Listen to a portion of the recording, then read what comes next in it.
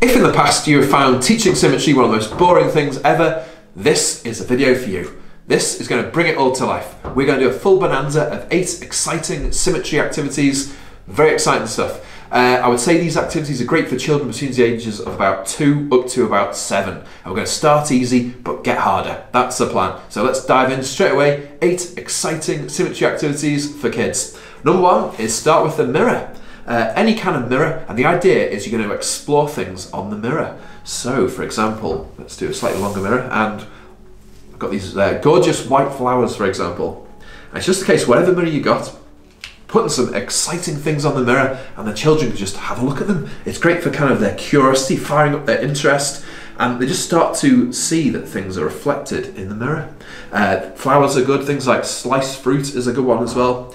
Using mirrors in different parts of the room is a good way to start them off with symmetry. Putting mirrors in the role play area, for example, or in the home corner, or great for investigating, just like big mirrors on the table. You can put things on, just gets them looking, gets them interested, and starts the process of what symmetry is and gets kind of images in their mind that later they will make sense of.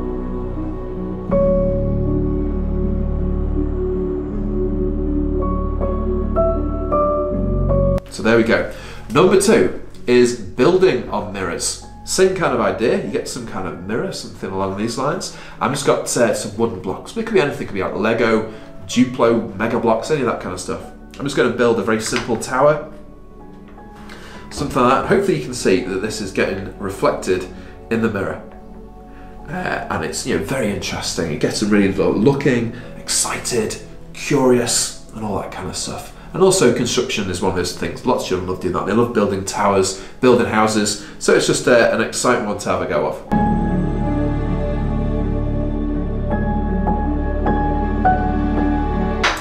Okay, next is mirror books. This is a mirror book. It's basically just two mirrors, two safety mirrors, and I've taped them together at the back. And it makes this kind of flexible book-like mirror. These are super for using with things like loose parts. I've got a little uh, baking tray here, a little tinker tray of some different loose parts.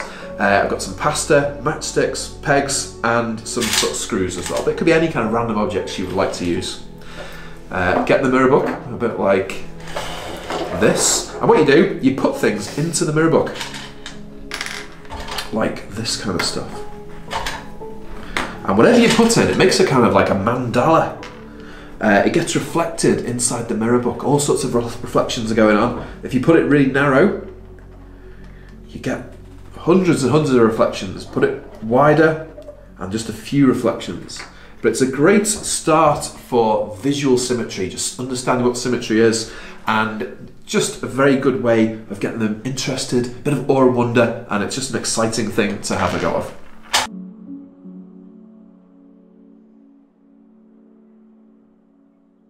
Okay, before I go any further, I should say, please do su consider subscribing to this channel. My name is Martin Williams. I've been a teacher for the last 10 years. I work with children ages uh, between the ages of 3 and 5 in particular.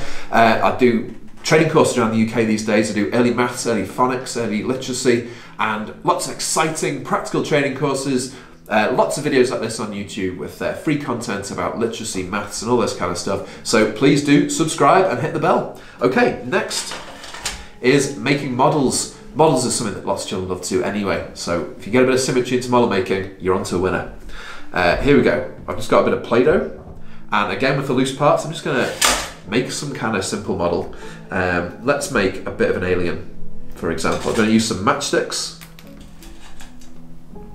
And the idea of this is just trying to make it symmetrical. Let's do some screws, for example. I'm going to do some...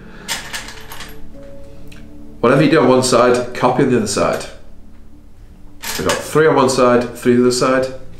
Let's do one eyeball there, one eyeball the other side. And just basically whatever you do, you try and copy it on the other side. A lot of children, when they make models, they will make them symmetrical anyway. It's just kind of an instinct some of them have. They just make things like this, where it's kind of the same on both sides. So it is a great way just to experience symmetry in a practical way. And again, starting lots of pictures in the minds.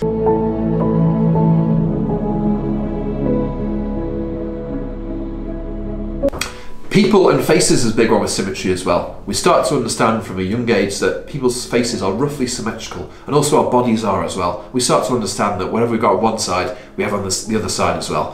Things like making faces are great for symmetry, and making people as well. Here's a, a simple loose parts activity to try making some symmetrical people. You get some kind of body, something like this. Is this stick is the the body. We're going to make a stick man. Is the idea of this. Uh, and what you do, you kind of build on both sides of the stick with the same stuff. So for example, let's uh, make some arms. I'm gonna, arms with two pieces of pasta and then some, let's have a blue and green finger on either, either side. Let's put some legs on as well. Uh, put some legs on down here, if you can see this. Legs made of pegs, put a head on, all that kind of stuff. Whatever you do on one side, do on the other side as well.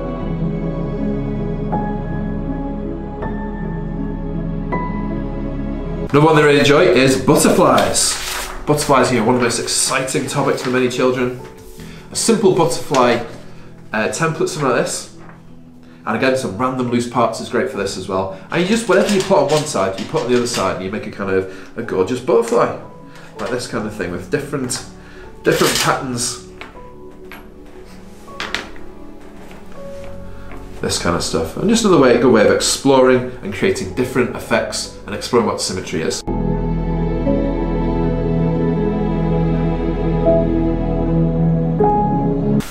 Books I've good for symmetry, particularly this book.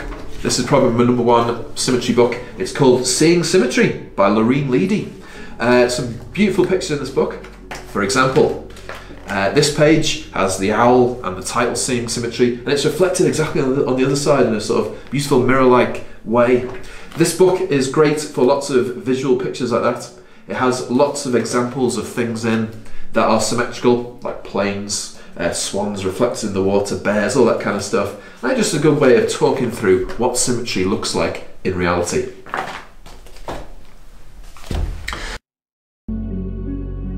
Okay, a little bit trickier now.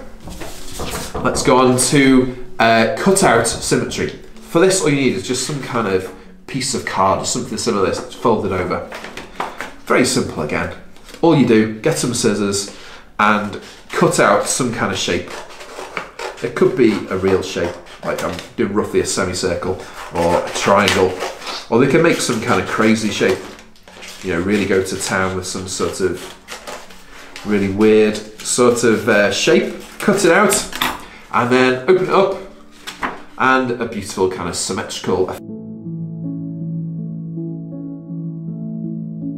All these things are just a play-based way of getting children started with symmetry and that is definitely the way to go. The more images you have in your mind, the more you will understand symmetry later on. So, if you've enjoyed this video, please do consider subscribing and hit the bell.